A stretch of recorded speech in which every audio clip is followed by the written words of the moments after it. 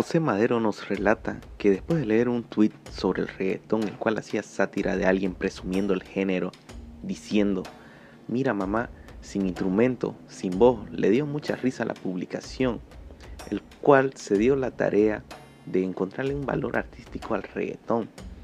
El cantante nos relata que se dio cuenta que Despacito era la número uno en todos lados, no solo en Latinoamérica, sino en las listas anglosajonas.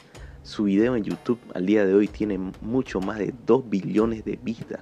Es una locura que yo realmente no entiendo, relata. Fue así que decidió analizar a fondo esta canción. La verdad, sé que Luis Fonsi existe, mas no podría nombrarte más de dos canciones suyas. Sé que eso era un cantante de música pop. Alguien que conoce mucho de la industria me dijo que a este tipo su disquera le tuvo tanta fe que esperaron 17 años para que tuviera un éxito y él no se dio por vencido.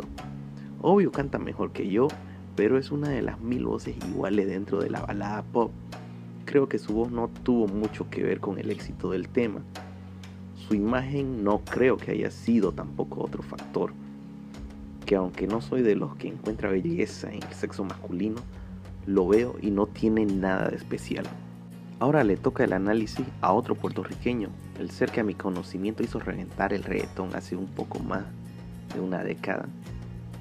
El ser que en vida real se llama Ramón Ayala alias el Daddy Yankee, que en el 2000 golpeó con una marea fuertísima con la canción llamada Gasolina. La buena noticia fue que esta moda duró solamente un par de años y como todo lo desechable dejó de servir y se olvidó.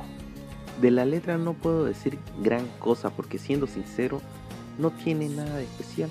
Una letra sexual común en el reggaetón hablando de cogerse a alguien y que olviden su apellido, mientras en el intercurso, que creo que es difícil que pase algo así. Me pongo a pensar y el apellido es una de las cosas menos importantes del cual acordarte mientras estás teniendo sexo. Más importante es el me puse el condón, pero bueno, supongo que el apellido rimaba. La única genialidad en lo lírico fue la incorporación de la palabra despacito, una palabra muy común y corriente pero dieron en el clavo invisible de la gente, haciéndolo memorable y fácil de cantar. No tengo explicación para esto, solo me queda dejar de ponerle títulos interesantes a mis canciones.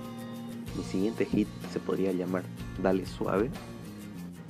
Musicalmente hablando, el tema se desenvuelve en un círculo repetido de cuatro acordes. En toda la canción se repite este círculo una y otra vez. Si menor, sol mayor, re mayor, la mayor. Y para cerrar, pensándolo bien, sí podría usar la camisa de Fonsi, o más bien mi camisa ya que yo la compré primero. No tengo cómo comprobarlo, pero quizás algún día me la ponga. Y por el que me señale y me acuse. Pagué 60 dólares y no veo cerca el día que Luis Fonsi me reembolse el gasto y el perjuicio. Y con esto terminamos, amigos un pequeño resumen de el post que nos dejó José Madero en su cuenta oficial de Facebook. Aquí debajo le dejaré el link porque la carta es demasiado extensa y está muy interesante. Vayan a leerla.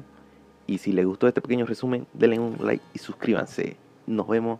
Chau, chau.